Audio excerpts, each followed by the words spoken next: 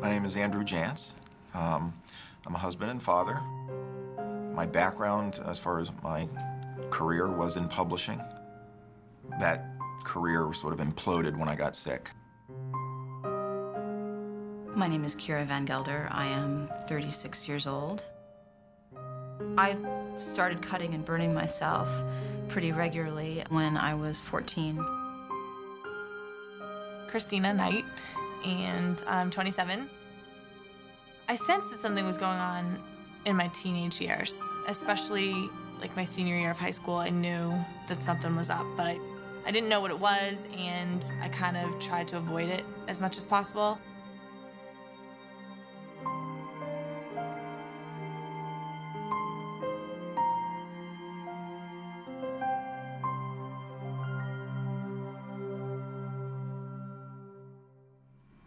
Personality disorder is really a serious illness that we do cur- currently now understand as a medical disorder that probably affects about 1% of the population. The criteria for this disorder can be grouped into three subsets those that have to do with emotional instability, those that have to do with behavioral instability, and those that have to do with interpersonal instability. People with borderline personality experience emotions more intensely. Someone can say something to me and I can have a severe reaction, and then two minutes later, I can have another completely different severe reaction. And so it's just constantly, it's, I mean, in the course of a day, it's, it's incredibly exhausting. You also find a real pattern of a lot of interpersonal problems. They tend to be, on the one hand, very dependent and clinging, and on the other, rapidly enraged and rejecting. The hardest part for me was when she was acting out in a behavioral way that was really um, angry. You can't have interpersonal relationships if you're not emotionally stable. Uh, it's extremely difficult to deal with someone who hates you one day, likes you the next day, and could love you the third day.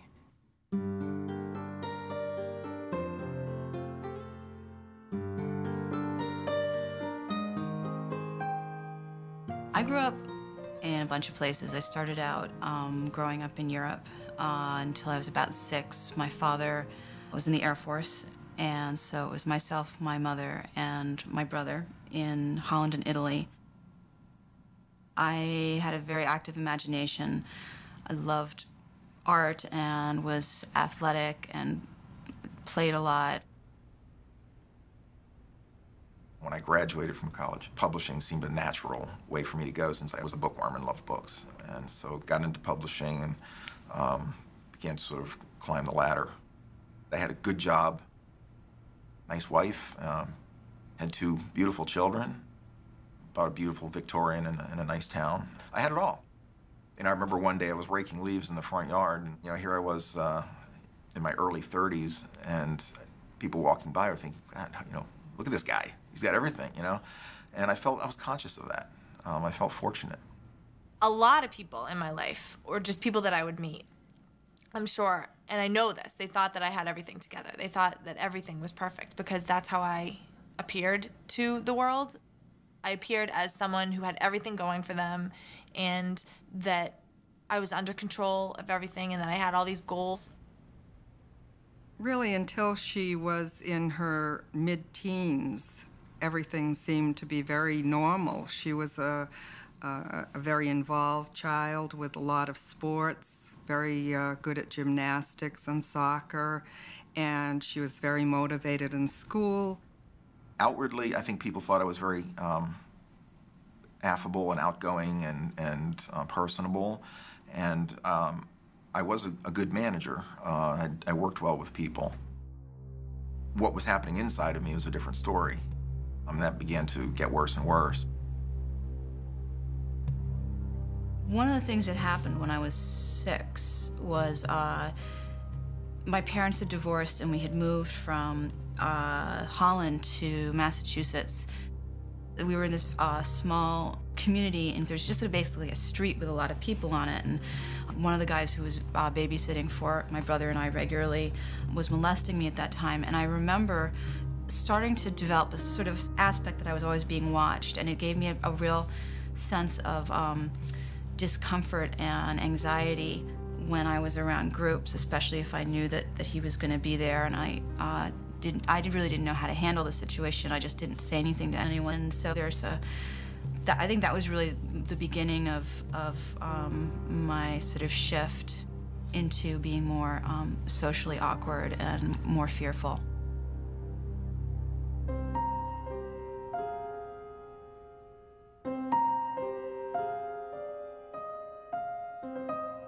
There was a sense of uh, not really knowing who you are. I mean, I think there had always been sort of a chameleon-like character in me. I was always sort of being who other people wanted me to be or who they expected me to be. And I felt that in the morning, it was almost like I had to sort of zip on my suit and tie, you know, put on this, this persona uh, of, of uh, you know, confident manager and go into work. And I'd sort of just get through the day. And then afterwards, walking to my car in the garage, it was just like a total deflation. I felt totally depleted. I, like I had given everything I had just to get through the day. And by the time I got home, I had nothing left for my wife and kids. I feel like I don't really have a group that I can identify with. I don't really feel like I fit in with my family. I don't feel like I fit in as a college student. I don't feel like I fit in whenever I work someplace. And that's probably because I don't have an idea of who I am. My way of coping was to start journals of how I should have a personality.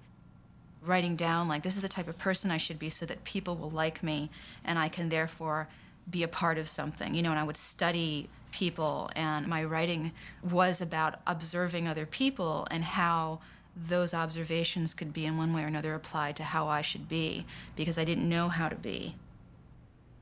You could actually define borderline personality disorder as the I don't fit in disorder. They are, in my opinion, the ultimate outsiders.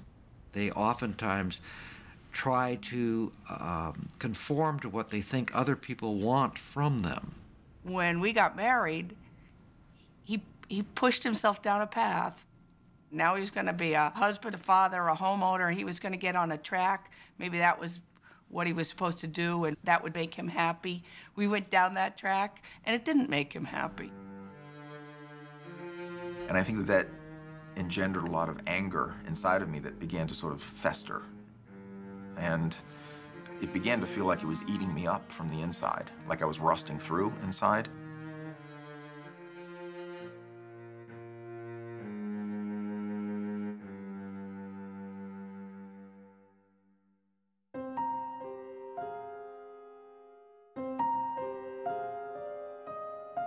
I remember one time when I was in um, ninth grade, actually, and I had finally made a friend.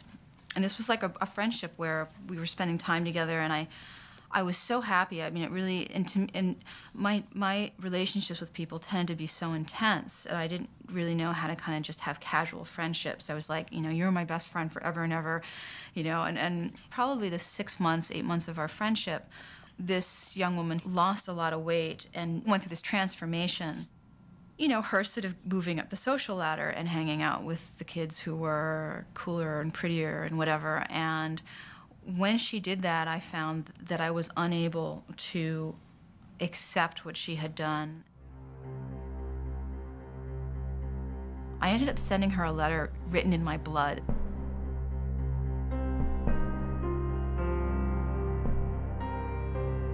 Writing a letter in your own blood is a beautiful example of communication of a desperate need, which would be very difficult for the other person to ignore. This is a group of people who often need other people to regulate them. The relationships that they form are often breathe life into them. And therefore, if the people who are regulating them in some way are getting ready to leave them, it can feel like a life and death proposition absences or separations from those relationships once they're established are catastrophic in their significance. Like I don't exist myself.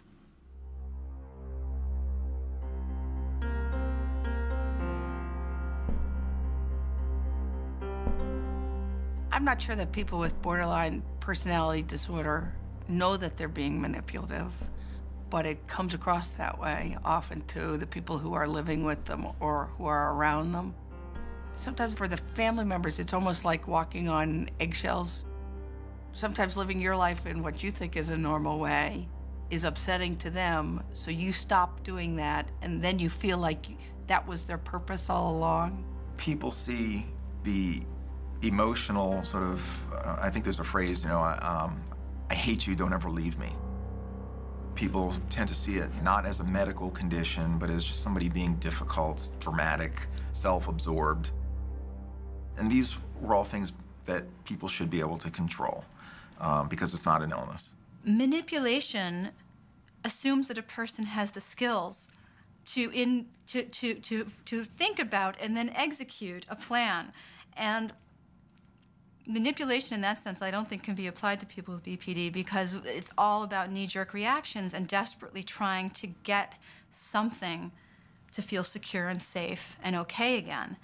And so for me, um, you know, when I was sending letters of blood to people, written in blood, one could say that was a tad manipulative. On the other hand, you could just as easily say, I had no clue about what I was doing. I had no idea how to get people to pay attention to me in ways that would work. Manipulation is when you consciously try to get someone to do something for you without them knowing that you actually got them to do it. These individuals very rarely have the interpersonal skills to figure out how to get you to do things in an unobtrusive way.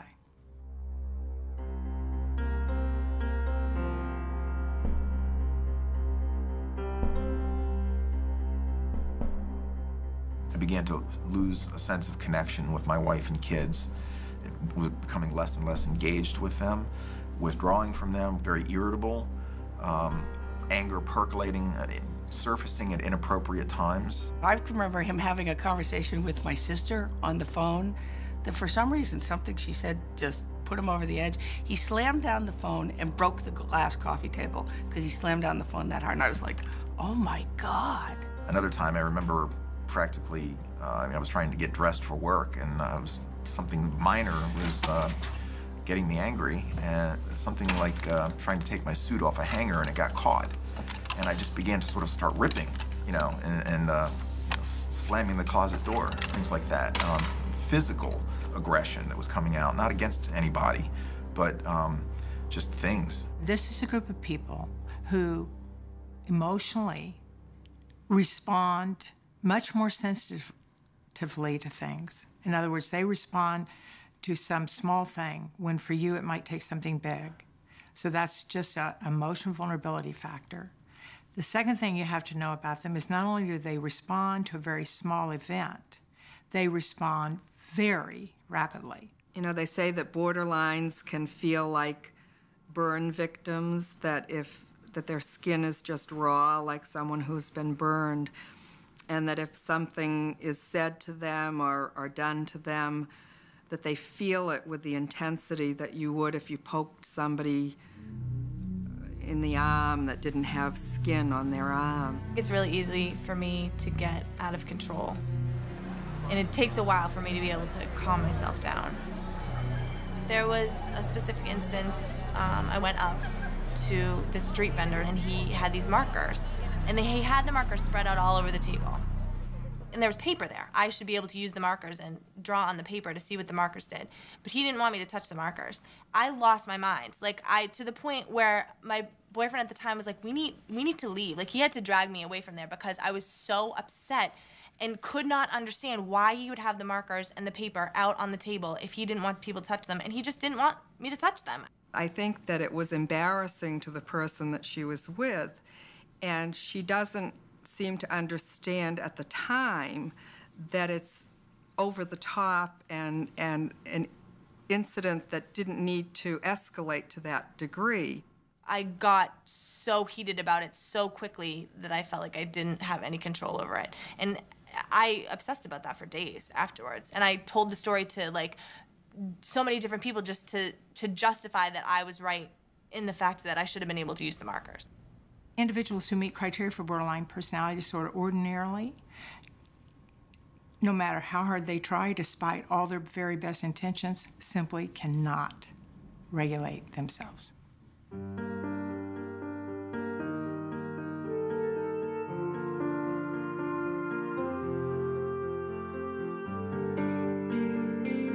I would make relationships with people based on these um, really sort of, you know, these behaviors that were self-destructive.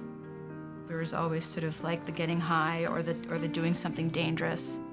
And then getting, you know, crazy drunk and dancing with people and going out to parties and, and, and having sex with, with people who were very attractive and, and, you know, ephemeral and I would never see them again. Christina tends to have risky behavior, whether it's um, drug use or whether it's driving her car very fast. I know that like when I there's certain people that I've met that haven't been great for me, like they have been doing drugs or whatever, and I will go to the extent to where I will actually do the drugs just so I fit in with them, and that's not necessarily the greatest thing.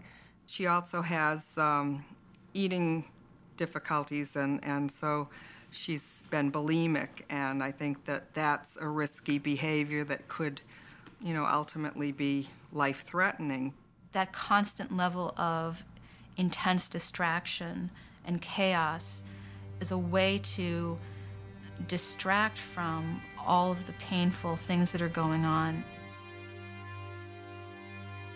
A lot of the dysfunctional, problematic behavior that an individual who meets criteria for borderline engages in, if you look at the behavior, you will see that that behavior, in fact, is highly effective at regulating their emotions.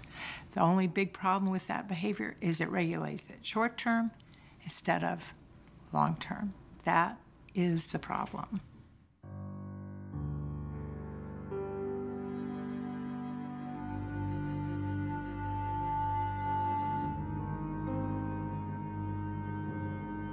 I started cutting when I was 14. I had become infatuated with another student and was rejected. And the rejection, this was like a romantic infatuation, was very public. I was very upset and I went into the bathroom in between classes and I had a tack and I just started dragging the tack along my, my arm. I remember once um, uh, being feeling very hurt um, by a conversation I had with my father. And there was a lot of anger and emotion. And I slammed down the phone and I went and got a razor blade and I started cutting my wrist. Anytime that I've cut, it's been because my emotions were so intense that I needed a different outlet for them. And to inflict physical pain on myself was a relief because then I could focus on the physical pain and I didn't have to focus on the emotional pain that I was feeling. To me, it was like a cigarette break in a sense, and um, and a way of of being able to manage feelings that I hadn't found a way to do yet. There's no doubt about it at all. Cutting and physically damaging the self regulates emotions in this group of people. No one is clear on exactly why it happens, and there's a lot of research on it. The self destructive behaviors of borderline patients can definitely serve to help them alleviate feeling states that they can't stand, oftentimes, feeling states that they can't even articulate. There's a kind of um, gratification to it as you're cutting and you're, seeing the blood come out. There's a satisfaction. And after you do it, I, you know, I'd make four, five, six cuts on my wrist and see the blood coming out. There was a sense of relief afterwards. I'd, I'd be sort of shaking with excitement, but feeling calm. And the emotional storm I was feeling had sort of subsided. He would come down to me and go,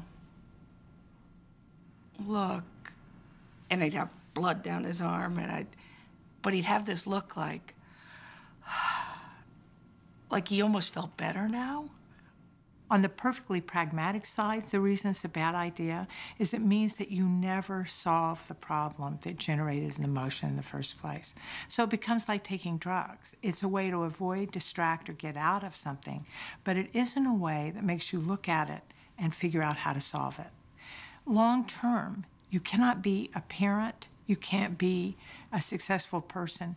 You can't be at work and say, okay, oh yeah, right, I don't solve problems, I cut. Okay, I'll cut.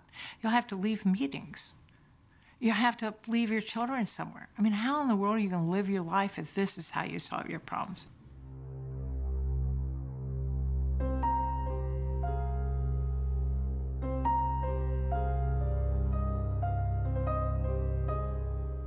As I began to feel more and more worthless as a person.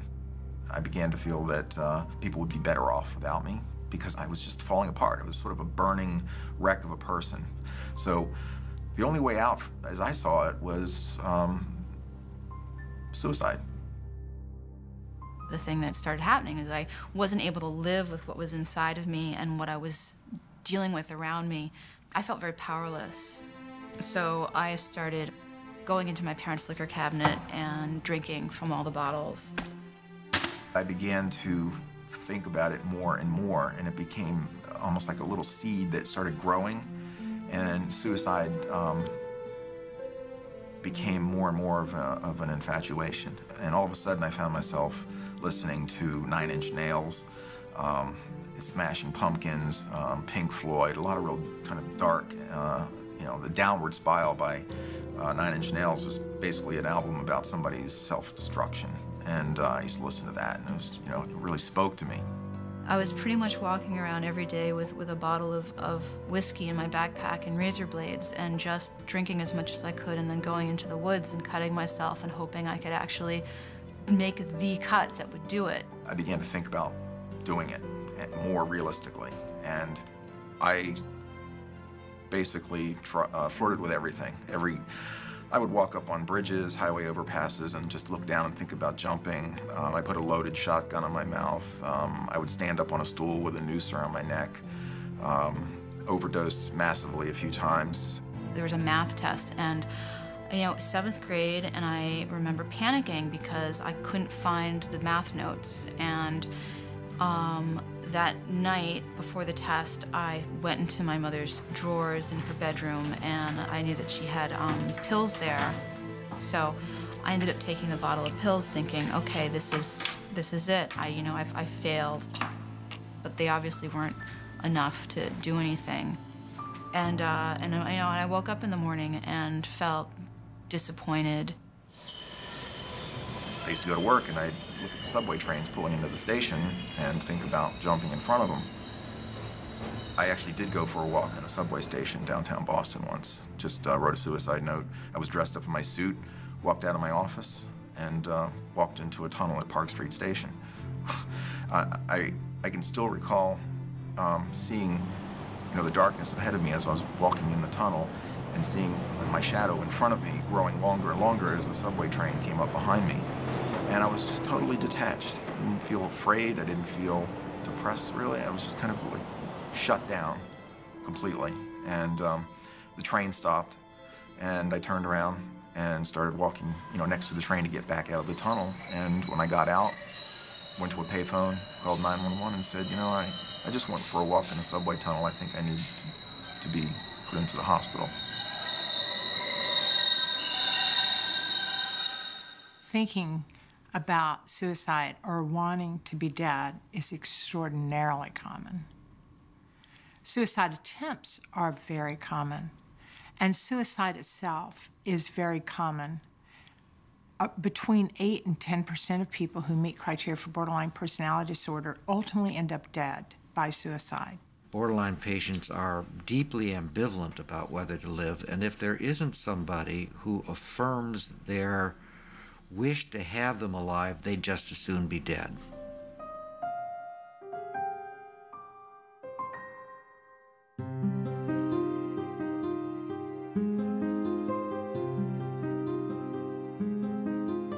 I had to drop out my second semester. The following year, I tried to go back to school. I got depressed again. I dropped out again, but more severe to the point where I was, you know, had the suicidal ideation and um, I was just kind of sick of feeling the way that I had been feeling for the past couple of years, and I wanted more of an answer. After getting a GED, going back to school, dropping out of college, going back to college, finishing college, going to graduate school for creative writing, and at that point, I was um, starting to, to teach art and memoir writing. But um, what I was discovering was that um, my ability to function in life was um, really compromised by these reactions I'd have to situations, to relationships, to responsibilities, to stress. She went to McLean Hospital uh, after she had gotten her master's degree. And she had climbed out, but she had achieved a, a goal in her life, and then everything fell apart. Everything fell apart. That was when I really saw what could happen to her.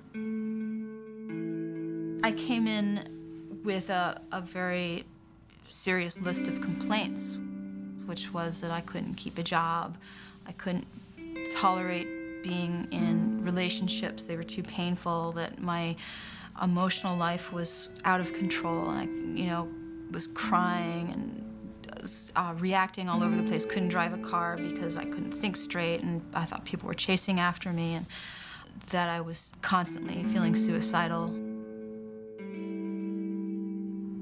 Just my perceptions were very skewed. I didn't, I couldn't see things clearly. I, I, I had no sense of, of who I was. Well, the staff doctor that was treating me came in and told me, you know, I think that you have borderline personality disorder, and I immediately thought that that meant I was on the borderline between like sanity and insanity or something.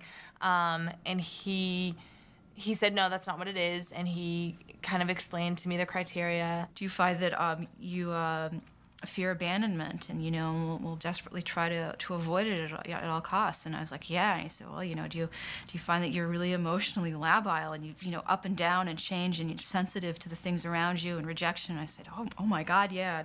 And you know just sort of checked over the there's there's there's nine criteria and um, you know stormy relationships and when people you know do you idealize people and then when they disappoint you do, do you devalue them and and by the time he got to the ninth one, he's like, and you know, do you experience paranoia when you're under extreme stress? And I'm, yeah. and everything he said to me was like, oh, I have that, I have that, I have that. So that to me was like, oh, there is something out there that explains this. People with the disorder more commonly uh, than not find it a great relief to be diagnosed. It's like looking in the mirror is a common phrase. It's like, oh my God, I'm something. And the something is understandable. Somebody could actually understand me. And if they understand me, maybe I could understand me. Maybe other people are like me, which means that I'm not so alone. I am not different from everybody in the world. I'm not an outsider every single place I am. And also, there's an enormous relief that there might be a treatment. Borderline personality disorder is an eminently treatable disorder, and um, patients can be helped. And with good therapeutic resources, uh, patients have a good chance to get better. There are many therapies which are appropriate and helpful for borderline patients. There are the individual psychotherapies, there are psychosocial therapies, which include family interventions and group therapies, and there are medications. Psychopharmacological treatment is an auxiliary treatment that is helpful in many cases.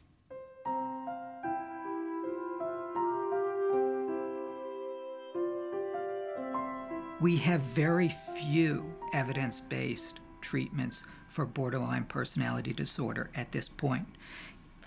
DBT is probably the treatment for which there is the greatest evidence. Dialectical behavior therapy um, was designed very specifically for people who uh, self harmed and had strong suicidal impulses. It basically is helping you to deal with situations that are going to come up every day and your emotional reaction is going to be a certain way and it helps you deal with that emotional reaction. It helps you find ways to stabilize yourself. It is the synthesis or merging of trying to change something while simultaneously radically accepting that it is what it is. It encourages first of all the person who's suffering to step out and look at their own emotions as a third person might, rather than to immediately act on them.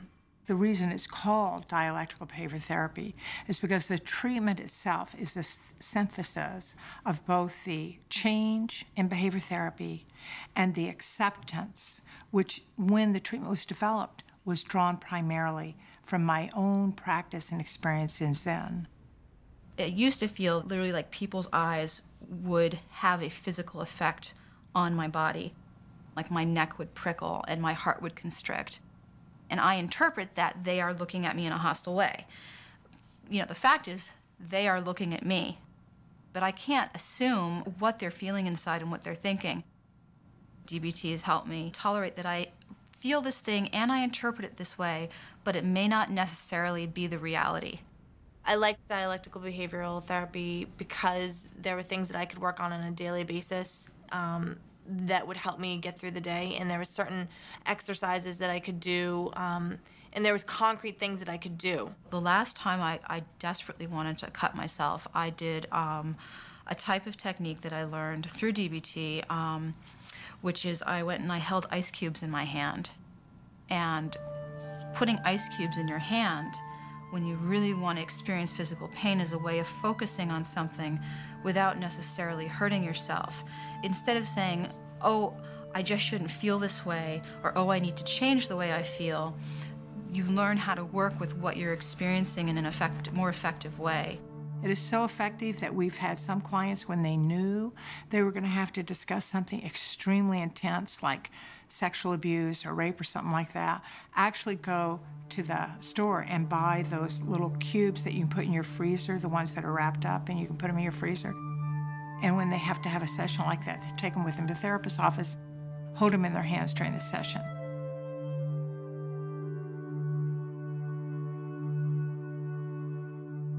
The other forms of uh, treatment which have been empirically validated include a transference focused psychotherapy, which is a derivative of the early psychoanalytic treatments and focused much more on the importance of interpretation and understanding the ways in which oneself, the borderline patient, distorts their views of other people and of themselves.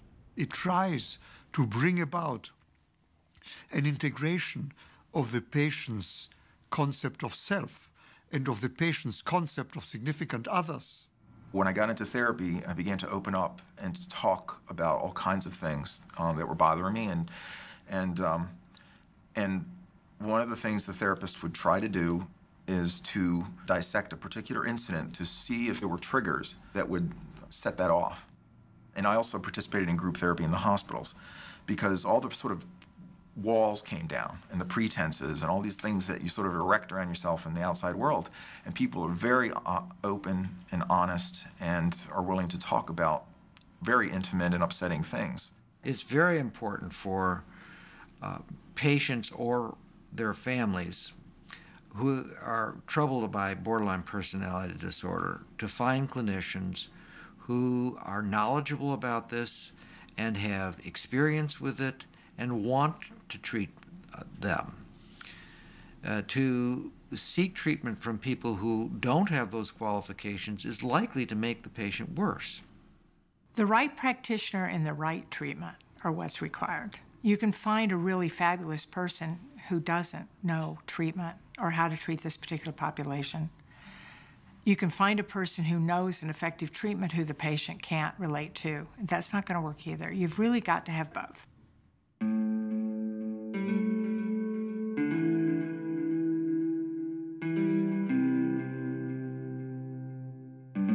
When I was first diagnosed, I thought that it was basically all my fault and that it was an environmental thing and that I should be able to, you know, fix it myself.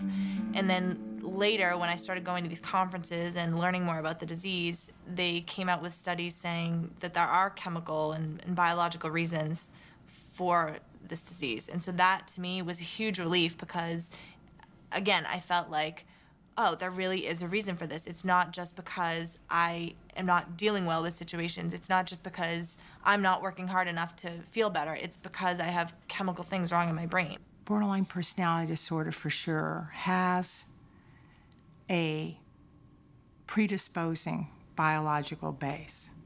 And whether somebody gets the illness depends upon the environment. In that respect, it's not unlike diabetes or high blood pressure within traditional medicine. Take an interaction with another person, for example. We're, we're sitting here talking. I see your face. Well, in the brain, there's two pathways.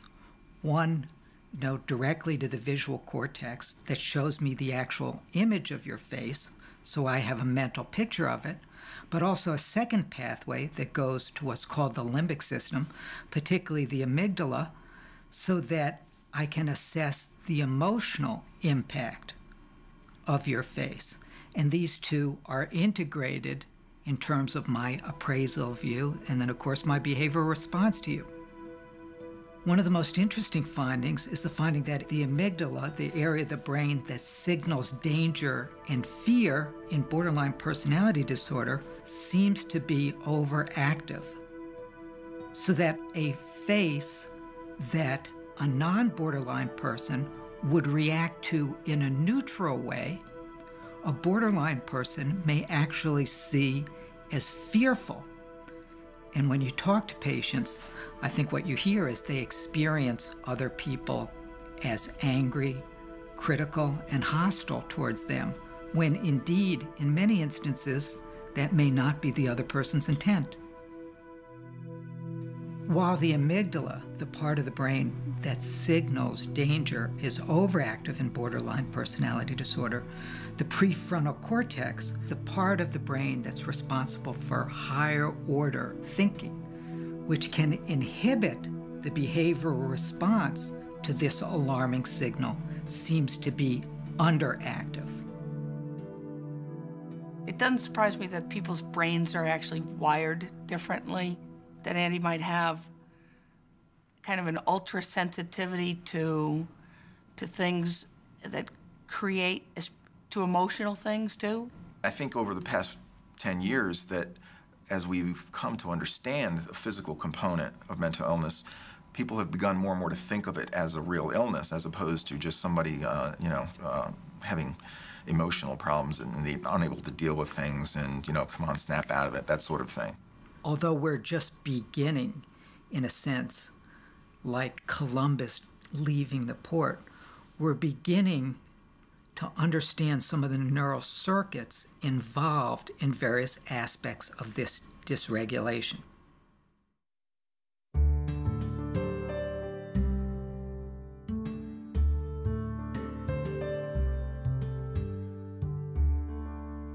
It would be fair to say that BPD can be hell for families. Having a borderline a person with borderline personality disorder as in your family is devastating. There's something in the nature of this condition and in its symptoms that can draw not only from families but from trained clinicians unhelpful responses. From my experience, the most common response of other people who are around people meeting criteria for borderline personality disorder is that their response is shape up. If I had known about BPD at the time of her adolescence, I think I would have been much more attuned to the fact that she reacted very quickly to things that, that were things that she disagreed with. It was a huge, what appeared to us, overreaction and then an inability to regroup. So I think that was a big sign that I, that I missed because I didn't understand what that would have have to do with mental illness. They know the person's emotional, but they don't know why. And they really don't have the fundamental understanding that the person's actually doing the best they can. It's important for me to get all the emotions out that I'm feeling because if I don't, then I obsess about them and I'm I pick myself apart and I think about every you know interaction that I had with every person that I interacted with, and I can make myself crazy thinking about, you know, did I do this wrong, or you know, did that person like me, or did they not like me, or the real tragedy for the individual is they say, I can't regulate it, and the other person says, yes, you can. So of course, then they start feeling worse about themselves, thinking that they can, but they just don't want to. What really helped me was when I realized that it wasn't about me that I wasn't necessarily what she was angry at and the target of it, but that I was just there to be somebody that she could vent all of this feeling that was about something else. So I, I don't know if you remember um, the comedian Gallagher. And Gallagher used to uh, smash watermelons and things, and the people in the front row would have to put on um, raincoats or something to cover them up because they'd get splattered with all the watermelon juices. And so I kind of likened myself to being in the front row with Gallagher when he was about to smash the watermelons. She just understands that I need to get it out and that there's nothing wrong with that and that she doesn't have to help me qualify anything. It's just that's how I feel. I need to get it out and once I get it out, I feel a lot better. We have guidelines for families which suggest that when their uh, borderline offspring or family member has one of these excessively angry reactions, that they listen carefully, look for whatever is true about it, and by validating that part of it which makes sense, it'll calm the person down.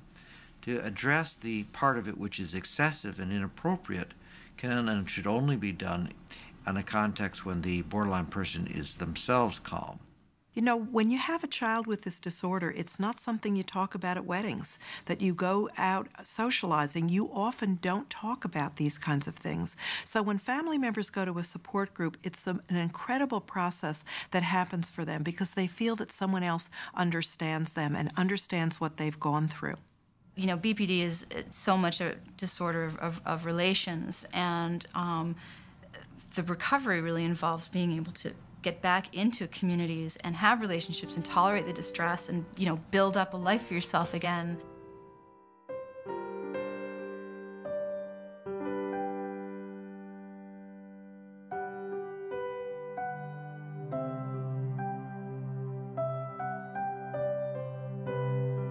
I've found that insurance doesn't want to cover borderline as the initial diagnosis, that uh, oftentimes you need to be given a, a, different diagnosis, an Axis 1 diagnosis, such as bipolar, and uh, that will be accepted for insurance. Regrettably, families may have to strengthen themselves to fight insurance companies when they do wrongfully deny coverage for what is indisputably a medical disorder. There's an effort to find brief treatments that will get these patients going. That's an illusion. These patients need long term treatment. I think it's important for families to recognize that the first no from the insurance company shouldn't be the last word on the subject. The key thing to recognize about borderline personality disorder is you can't decide not to treat it. The insurance companies have to come to grips with this particular reality. The saying we won't pay for the treatment doesn't mean they don't pay for the treatment. They do pay for the treatment. Somebody pays for it. Because when you don't give them treatment, they show up in the emergency room and no one can kick them out of there.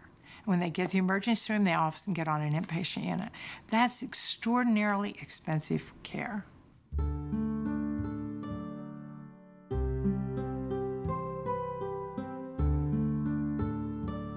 When family members call me for the first time, the first thing I want to give them is hope. I want them to know that people with this disorder get better. For somebody whose family member has just recently been diagnosed, I would say that they want to participate in the therapy, get to understand what's going on and what to expect, that they've probably got a long haul, but the more they understand it, the better off they are. Borderline personality disorder is often called the good prognosis diagnosis, and that's because people get better. People recover from this disorder. They manage their lives in effective ways. They have children, they have careers. People with this disorder uh, have a remission, meaning that their psychopathology is greatly reduced within a couple of years. And when that happens, it's sustained. Relapses are not common the emotionality that they have, the tendency to react quickly, will probably always be there, but you can build a corresponding tendency to be able to regulate. The payoff is that rather than having short series of intense, volatile um, interactions with people, you're probably going to go through a dry period where it feels like there's no one around, and then things start building.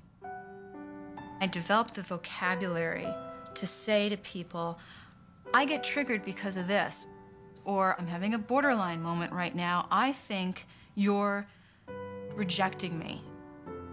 When you get the diagnosis and a set of language to bring awareness to the interpersonal dynamics, things that used to destroy relationships become opportunities to build a new level of communication. I think the thing that was really helpful to me was to just know that that I love my daughter more than I need to be right all the time. That the relationship is the most important thing to me. That if I can hang in there and learn to understand the perspective of the other person, that it's worth it to hang in there, that we really have a great relationship in spite of a lot of ups and downs. It's also learning that life with a borderline can be a roller coaster ride, and I don't always have to hop on the ride. I think that families should remember that most people with this illness will recover. In some instances, it will take time, and that this really is not a sprint, but a long distance race there's this like this crucial element that I think is so important, which is the will and the desire to confront what's going on with yourself and believe that if you confront it and you get help for it, things are going to be so much better. And I can look back now and see that, that I'm much better off today than I was when I was trying to do things on my own. But it takes an awful lot of trust and faith in the people around you to, to admit to having something that's so stigmatized and then to put yourself in their hands and say, please help me.